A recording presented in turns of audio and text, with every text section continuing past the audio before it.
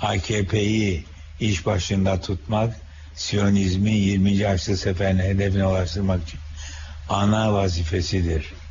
Bunu tutmak için AKP'de maneviyata hizmet ediyor diye maneviyatçı insanların oylarla AKP'ye gitmesine hizmet ediyor. rakipleriniz de e, değişti. Yani siz e, ilk döneminizde e, Demirel, e, Ecevit, Türkeş gibi isimler vardı ve bunlarla mücadele ediyordunuz. Şimdi onların hepsi bir kısmı vefat etti. Demirel kenara çekildi. Siz şimdi kendi öğrencilerinizle ve sizden çok daha genç kuşaklara karşı özellikle de öğrencilerinizle mücadele ediyorsunuz. Biraz e, nasıl hissediyorsunuz kendinizi? O açıdan yalnızlık hissediyor musunuz? Fa- Farklı Hayır. bir durum var mı? Hiçbir farklı durum yok. Biz baştan beri mücadele hak ve batıl mücadelesi.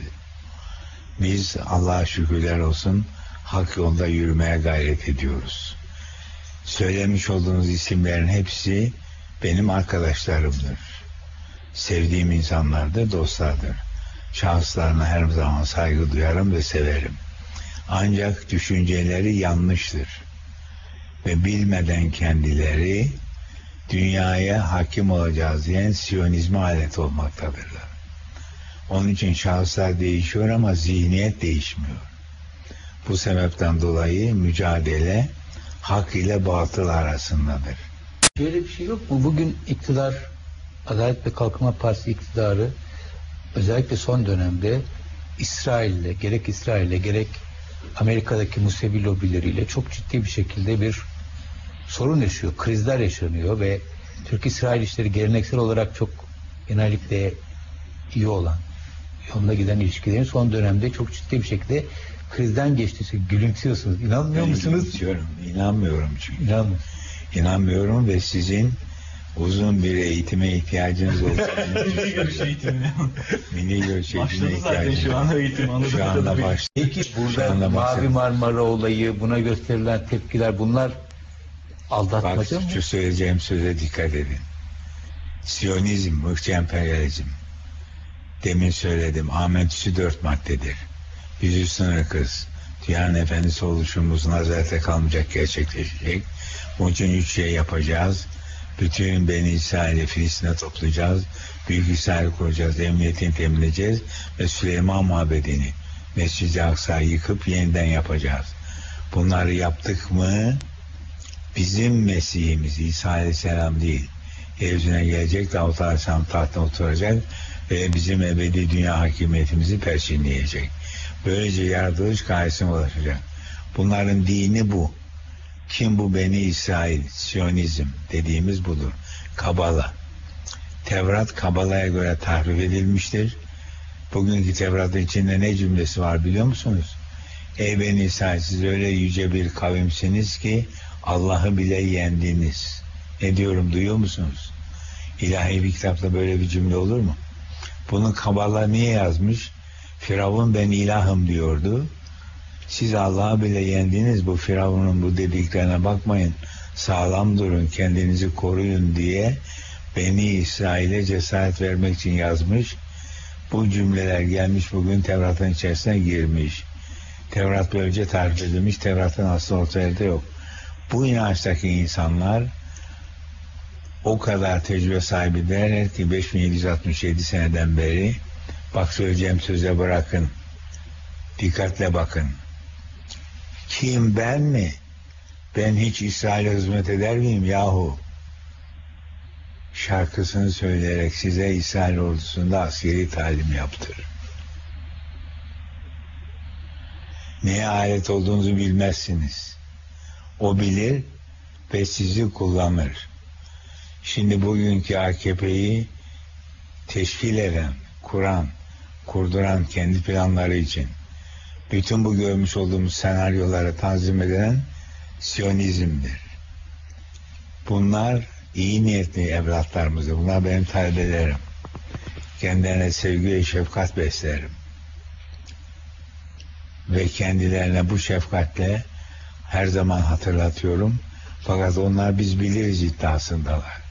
Ama kullanılıyorlar. Halbuki kullanmıyorlar ve bu senaryoların hepsi Beni İsrail tarafından yapılıyor. Siyonist tarafından Son yapılıyor. olay da böyle mi? Son olay da böyle ve niçin böyle biliyor musunuz? Seçim geliyor. Millet aslına dönüyor ve Saadet Partisi'ne kayıyor. Ya Saadet Partisi tekrar gelirse bizim 20. Arsız seferimiz ne olacak? Bütün her şeyimiz durur. Öyleyse bundan dolayı bütün tedbirlerimizi alalım. Şimdi bu işi sırasız konuşursak karışır. Birkaç cümleyle arayadaki boşlukları doldurmam lazım. Bakınız 1990 yılına kadar Soğuk Harp devam etti. Soğuk Harp bittiği zaman İskoçya'da bir NATO toplantısı yapıldı. Bu NATO toplantısında Margaret Thatcher ne dedi? Biz NATO'yu Rusya'ya karşı kurmuştuk. Şimdi Sovyetler dağıldı. Ne yapacağız? NATO'yu lağım edeceğiz. Düşmansız ideoloji yaşamaz. Gelişemez. Bizim mutlaka bir düşmanımız olması lazım. Bugüne kadar düşmanımız Sovyetlerdi. Şimdi Sovyetler dağıldı. Yeni bir düşmanımız olması lazım. Bunu ihdas etmemize lüzum yok. Bu zaten var. O da İslam'dır. Bu söz üzerine Amerika'da NATO'nun işaretleri, düşman işareti kırmızı yerine yeşile döndürüldü ve NATO manevralarında düşman şehirlerin isim, Müslüman şehirlerin isimleriyle değiştirildi. 1990 20 senedir artık bu sefer 19 Haçlı seferine Müslümanlar, Türkler müsaade etmedi. Bir İsrail kuramadık ama hepsi İsrail kurmak için yapılmıştır. Şimdi bu 20. Haçlı seferinde mutlaka İsrail kuracağız kararıyla çalışıyorlar.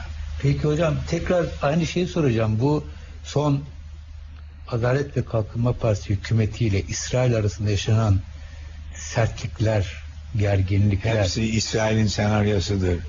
AKP'yi iş başına getirdiği zaman AKP'ye bana bak sakın ha beni aldatıp da şeriat getirmeye kalkma sonra sana hesap sorarım ha diye AKP'yi azarlayıp duruyordu. İmam Hatip'ten bahsetmeyeceksin, tesettürden bahsetmeyeceksin diyordu.